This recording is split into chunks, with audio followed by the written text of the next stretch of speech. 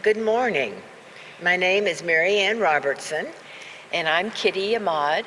We represent a ministry here at Aldersgate called the Cheer Team.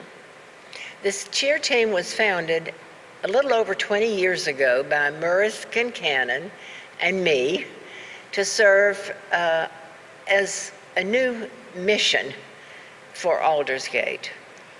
Yes, we en- enjoy taking communion, flowers, the upper room, uh, the love of Christ, companionship, and love to members of our church. Some of these members are people who are recovering at home after surgery, sometimes in the hospital still or a nursing home. Uh, At whatever point they can't come into church, but we want them to know that Aldersgate still cares about each and every one of us. It, the ministry involves visiting maybe once every six weeks.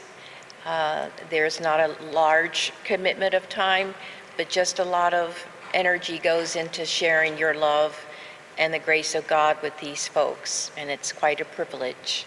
Yes, it is. I always feel that I have received more than I have given uh, when I see the gratitude on the faces of those we visit. And um, we would love to have more volunteers. It's, it's a wonderful thing that we do, and we would love to share that with you because we think you would get just as much out of it.